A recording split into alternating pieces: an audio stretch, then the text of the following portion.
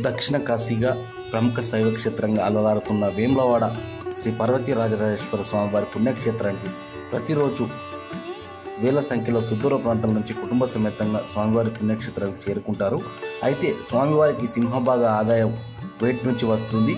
News eighteen ప్రత్యేక కథనంలో తెలుసుకుందాం. వందే పార్వతీ పరమేశ్వరు.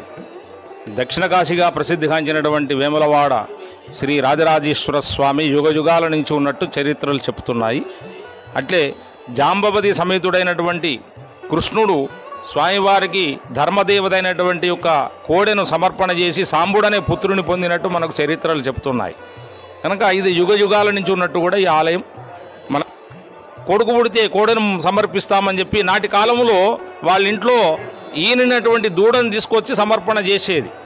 అయితే కాలంలో మార్పులు జరుగుతున్నప్పుడు దేవాలయమని దాన్ని హ్యాండ్ ఓవర్ చేసుకొని అంటే దాని ఆధిపత్యం తీసుకొని భక్తులకు ఎటువంటి అసౌకర్యం కలగకుండా ఈ కోడలను దేవస్థానమే ప్రొవైడింగ్ చేస్తూ ఆ దానికి రుసుము చెల్లించడం జరిగింది.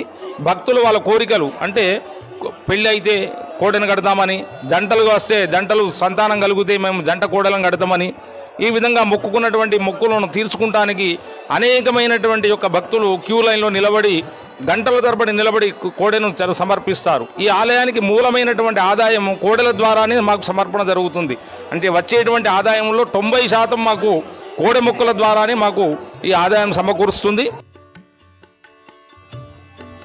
కోరిన కోరికలు తీర్చే కొంగు బంగారంగా వేములవాడ శ్రీ రాజరాజేశ్వర స్వామి ప్రసిద్ధి. స్వామివారికి ఇష్టమైన కోడె మొక్కులు చెల్లిస్తే కోరిన కోరికలు తీరుతాయని భక్తుల ప్రగాఢ విశ్వాసం.